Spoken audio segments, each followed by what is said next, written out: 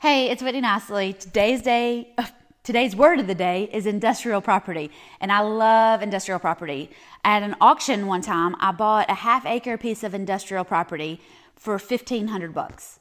Now, industrial property is the top of the pyramid. So way up here, the top of the pie, this is industrial property. This is where landfills are. This is where uh, machine shops, warehouses, uh, heavy duty machinery is sold and bought on industrial property. Industrial property is usually the most expensive.